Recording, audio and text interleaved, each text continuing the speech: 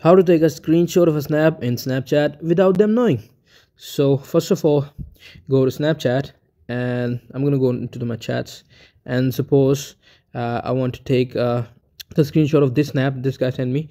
So what we're gonna do is uh, i'm gonna scroll down and i'm gonna turn on the airplane mode which will disconnect me from my internet. And after that i'm gonna go to the chat. Now here.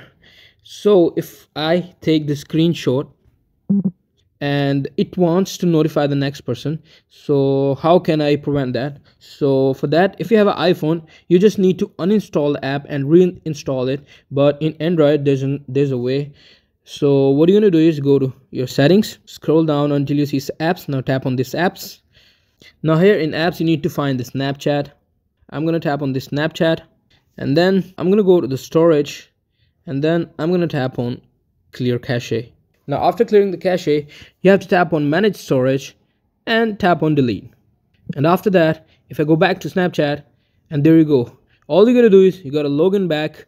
After logging in you'll get back where you continued from and the next person won't get the notification of your screenshot. So that's it. That's how you do it. Hope you find this video helpful